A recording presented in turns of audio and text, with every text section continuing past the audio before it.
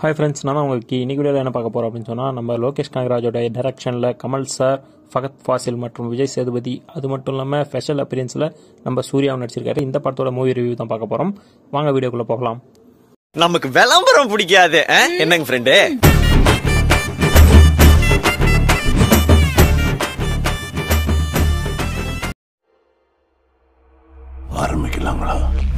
பத்தல பத்தல சாங்லேருந்து படம் ஸ்டார்ட் ஆகுது. படத்தோட ஃபர்ஸ்ட் ஆஃப் பார்த்தோம் அப்படின்னா ஃபகத் ஃபாசில் ஹீரோவா இல்லை கமல் சார் ஹீரோவான்ற டவுட் வர அளவுக்கு ஃபகத் ஃபாசில் தான் வச்சு செஞ்சிருக்காப்புல.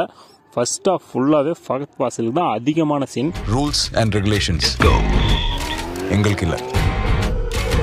உங்களுக்கு இருந்தா மீறப்படும்.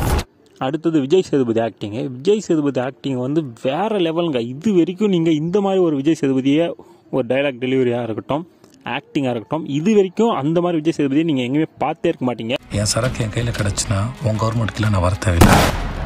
என் கவர்மெண்ட் என்னால் உருவாக்க முடியும். லோகேஷ் கனகராஜ் வந்து ஆடியோ லஞ்சில் சொல்லியிருந்தாரு விஜய் சேதுபதிக்கு ஒரு ட்ரெயினர் வச்சு ஒரு ஆக்டிங் சொல்லி கொடுத்து இந்த கேரக்டருக்கு கொண்டு வந்திருக்காங்க அப்படின்னு.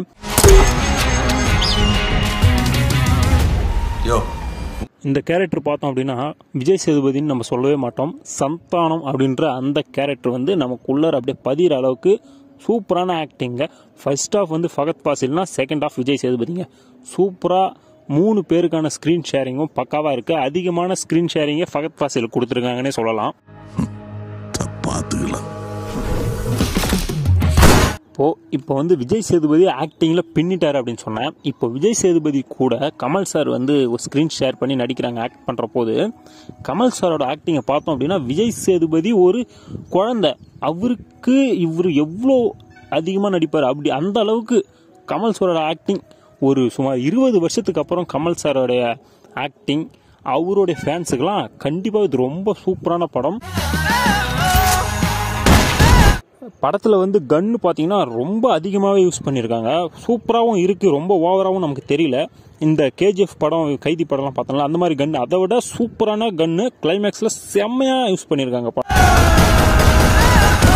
இந்த படத்தில் வந்து கமல் சாரை வீட்டில் ஒரு ஃபைட் சீன் ஒன்று வச்சுருக்காங்க. அது ரோபோட்டிக் கேம் யூஸ் பண்ணி பண்ண அப்படின்ற மாதிரி. அந்த மாதிரி ஃபைட் சீன் தமிழ் சினிமாவில் இது வரைக்கும் எடுத்திருக்க மாட்டாங்க. அவ்வளோ கேமரா மூமெண்ட் இருக்கிற ஒரு ஃபைட் சீன் அந்த ஃபைட் சீனை திரும்ப திரும்ப பார்க்கலாம் போல இருக்கும். அவ்வளோ சூப்பராக இருக்கும். லோகேஷ் கனகராஜ் எவ்வளோ எஃபர்ட் போட்டிருக்காரோ அதுக்கு ஈக்குவலாக அனிருத்தோட எஃபர்ட்டும் இருக்குங்க. மியூசிக் வந்து அனிருத் இது வரைக்கும் போட்ட படத்தை எல்லாத்தையும் ஒரு ஓரமாக எடுத்து வச்சுட்டு இந்த படத்தை ஃபர்ஸ்ட்லேருந்து ஆரம்பிக்கலாம் அப்படின்ற மாதிரி ரொம்ப சூப்பராக இருக்குங்க மியூசிக் அவருடைய படம் அவர் போட்ட மியூசிக்கில் தி பெஸ்ட்டு அப்படின்னு சொன்னோம்னா அது விக்ரம் படத்தை மட்டும்தான் சொல்லலாம். அந்த அளவுக்கு இருக்கு. என்னதான் காப்பி அது இதுன்னு சொன்னாலுமே பேக்ரவுண்ட் ஸ்கோர்லாம் வேறு லெவல் பண்ணியிருக்காரு. புதுசு புதுசாக இருக்குது நமக்கு அப்படியே கூஸ் பூம்ஸ் வருது அந்த பேக்ரவுண்ட் ஸ்கோர் பிஜிஎம்லாம் பார்க்கும்போது. முக்கியமாக இன்டர்வல் பிளாக்ல ஒரு பே பேக்ரவுண்ட் ஸ்கோர் ஒன்று வந்திருக்கு. அதை பார்த்தீங்க அப்படின்னா அப்படியே ஒரு மாதிரி உடம்புலாம் ஒரு மாதிரி சிலுக்குதுங்க. அந்த அளவுக்கு பண்ணியிருக்காருங்க. படம் ரிலீஸ் ஆகிறதுக்கு முன்னாடி லோகேஷ் கனகராஜ் ஒரு ட்விட் போட்டிருந்தாரு. கைதி படத்தை பார்த்துட்டு விக்ரம் உலகுக்கு வாங்க அப்படின்ற மாதிரி. அது ஏன்னு அப்போ புரியல ஆனால் இப்போ புரியுது. படத்தில் கைதி படத்தோட ரெஃபரன்ஸ் நிறைய வருது. அதை ஈக்குவலாக அதையும் இதையும் சூப்பராக கனெக்ட் பண்ணுற அளவுக்கு சூப்பராக ஸ்க்ரீன் பிளே இருக்குது பக்காவாக பண்ணியிருக்காரு. கைதி படம் நீங்கள் பார்க்கல அப்படின்னா பார்த்துட்டு இதை பார்த்தீங்க அப்படின்னா உங்களுக்கு நல்லா புரியும்.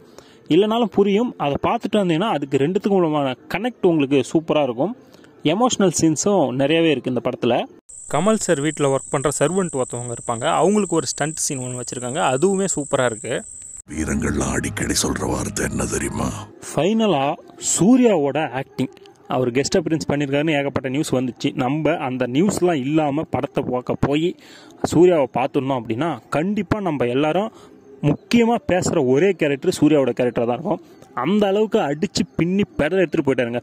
படம் முடிய ஒரு பத்து நிமிஷத்துக்கு முன்னாடி தான் சூர்யாவோட கேரக்டர் கேட்டுறாங்க. அந்த கேரக்டருக்கு புது லுக் இது வரைக்கும் சூர்யாவை நீங்கள் பார்க்காத ஒரு லுக்கில் வராரு. சூர்யாவோட லுக்கை ஸ்பெஷலாக லோகேஷ் கனகராஜே மேக்கப்லாம் போட்டு ரெடி பண்ணாரு அப்படின்ட்டு நியூஸ் வந்துச்சிருக்கு. அந்த மாதிரி சூப்பரான லுக்கில் பக்காவாக அடித்து பின்னி பெடல் எடுத்துகிட்டு போயிட்டார். இது வரைக்கும் அவர் நடித்த படத்தை விட்டுருங்க. அதெல்லாம் விட்டுட்டு இந்த கேரக்டருக்கு அவரால் என்ன பண்ண முடியுமோ அந்த பெஸ்ட்டை பண்ணிட்டு போயிருக்காரு. சூர்யா இந்த படத்துக்கு மிகப்பெரிய ப்ளஸ்னே சொல்லலாம். அந்த சீன் ஓவராலாக படம் செமையாக இருக்குங்க. சூப்பராக இருக்குது தமிழ் சினிமாவில் த பெஸ்ட் மூவினே சொல்லலாம். விக்ரம் படத்தை. கமல் சாருக்கு ரொம்ப நாளுக்கு அப்புறம் ஒரு கம்பேக்கான படம். ரொம்ப சூப்பராக இருக்குது ரெண்டு மூணு டைம் பார்க்கலாம் படத்தை தேட்டரில் போய். ஒன் டைம் வாட்சபிள் மூவி அப்படின்லாம் சொல்லுவாங்களே அந்த மாதிரிலாம் கிடையாது. நீங்கள் எத்தனை டைம் பார்த்தாலும் உங்களை எக்ஸைட் பண்ணிகிட்டே இருக்கும். சூப்பராக இருக்குது படம். தேட்டரில் போய் பாருங்கள் கண்டிப்பாக அடுத்து ஒரு நல்ல விடையில் வந்து சந்திக்கிறேன். நன்றி வணக்கம். விக்ரம்!